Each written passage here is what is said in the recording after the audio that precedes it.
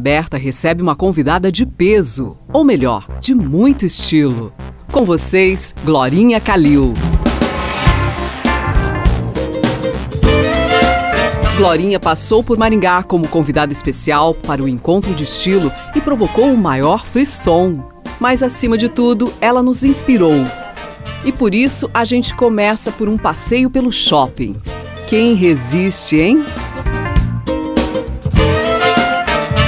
Eu amo moda e, e gosto de fazer a minha moda. Gosto de, como eu estava dizendo para ela, como o americano diz, window shopping, que você passeia pelas lojas para ver as vitrines, tirar ideias e de repente chega em casa e diz, ah, esse, esse sharp que há anos eu não uso, agora eu vou fazer, ah, eu vou dar um nó assim e tal. E essa é a minha moda.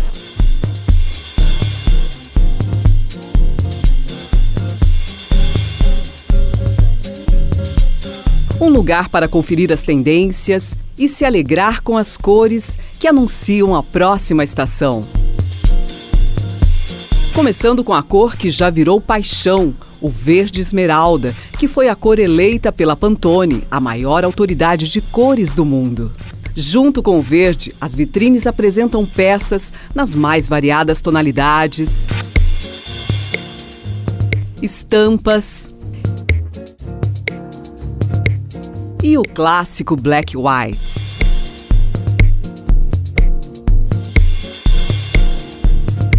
Então, o verão vai estar muito refinado, né? Como sempre, esses tecidos leves. A estampa azulejo, que é o azul e branco, agora está bem alta, né? A gente, inclusive, tem aqui na loja também várias estampas nessa cor. Bastante couro, flúor, que ainda está em alta. Então, você pode variar estampas com estampas, vai ficar bem legal que é super tendência agora para todo mundo que quer dar uma mudada. É a gente está misturando as estampas florais com a listra. A listra veio agora para o verão como se fosse um, um, liso, como se fosse um clássico. Um verde, um branco, um preto. Então você está jogando uma estampa floral com uma listra que combine, que coordene as cores. É, você vai estar tá super antenado, vai estar tá na frente, é super proposta.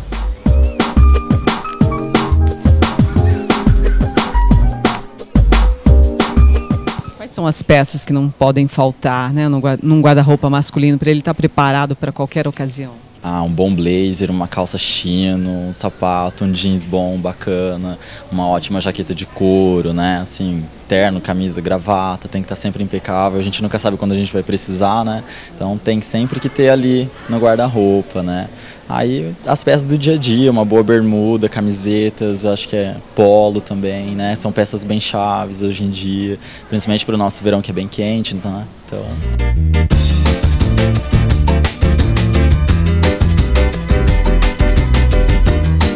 E se as roupas falassem, hein? Hum, certamente elas contariam muito sobre eu e você. Bom, é, atualmente eu sou eu sou cover da banda, tipo, do vocalista Billy Joe Armstrong, da banda Green Day, né? E é a partir dele eu pego uma coisinha ou outra, vamos supor, o cabelo, a parte da maquiagem mesmo. E é esse a base do, de tudo mesmo. E você também? Ah, não, eu sou mais puxada para alternativo mesmo. Eu não tenho estilo definido, eu só curto algo meio diferente. E eu sempre gostei de moda, quer dizer, e, e, também muito me espelhando na minha mãe, que era uma pessoa super simples mas que ela me esperava, porque eu vim morar no Rio há muitos anos, e sempre que ela me esperava, eu chegava lá e digo, mãe, o que, que é isso? Ela estava de sapato de verniz, com colar, quer dizer, ela se produzia para me esperar. Então essa produção acho que já vem do berço e eu acho que a gente tem obrigação de estar bem para si e para os outros. Eu acho que cada um tem seu próprio estilo com suas próprias opiniões, né? E cada um busca o que acha o certo para você. Acho que você não tem que seguir ninguém nem ser igual a ninguém, você tem que ser a si próprio.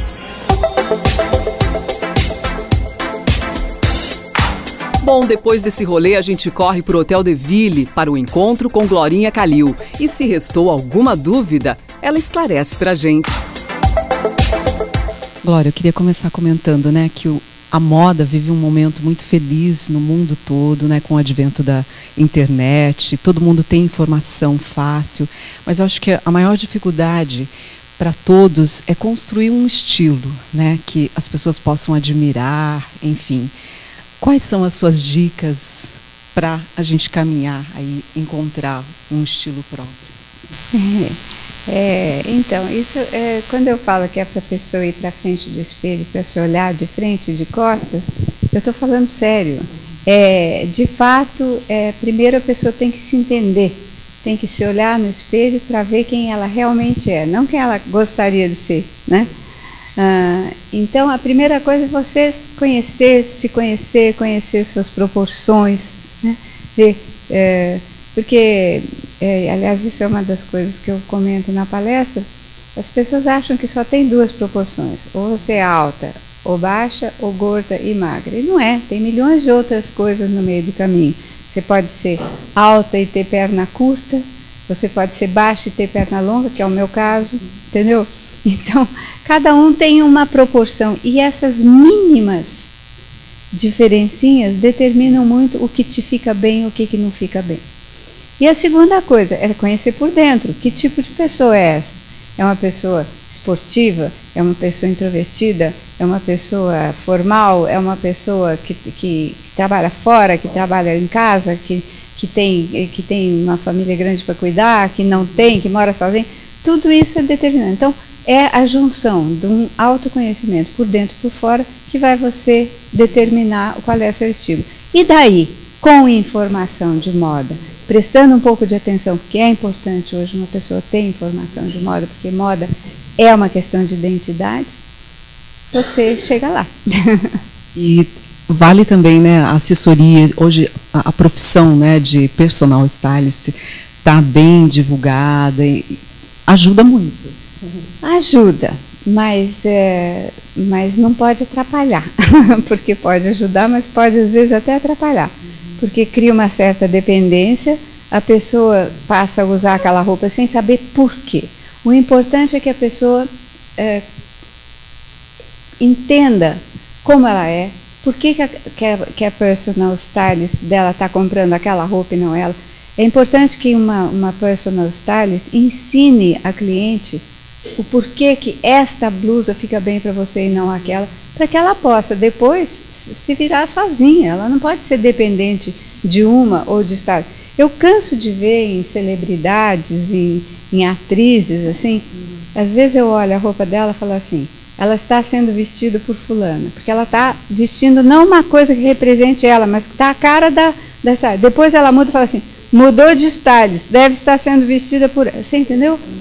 Então, quer dizer, é um, é, eu ainda entendo um pouco essa, essa história nessa coisa da celebridade, porque muitas vezes elas não têm nem oportunidade de ir para a rua e escolher alguma coisa. Então não aprende mesmo, mas para as pessoas normais que querem aprender seu estilo, eu acho que fazer curso de moda, é, ler livros de moda, ler revistas de moda e prestar um pouco de atenção ajuda bastante. E a Glorinha, quando não está trabalhando, o que, que você gosta de fazer? Você consegue separar? Vai para a praia, assim, tem uma ideia, escreve para seu os seus próximos livros, você consegue... É, você a minha atividade é muito misturada, prazer com o trabalho. Você mesmo falou que no seu tempo vago você escreve o livro como se o livro fosse um lazer, não é? E é um trabalho pesado que eu gosto muito. Então, é, felizmente, minha vida profissional é muito prazerosa, é muito ligada a atividades que eu gosto muito, de modo que é muito difícil separar. Mesmo quando eu estou viajando de férias, eu passo, você acha que eu deixo de ficar olhando vitrine, deixo de ficar olhando loja, deixo de ficar olhando como que as pessoas se vestem? Não, não é? Sim. Então é muito, é muito ligado, de fato. E por falar em livros escritos por Glorinha Calil, aí estão alguns exemplares. E se você já tem, vale a pena ler de novo. E se ainda não tem, fica a dica.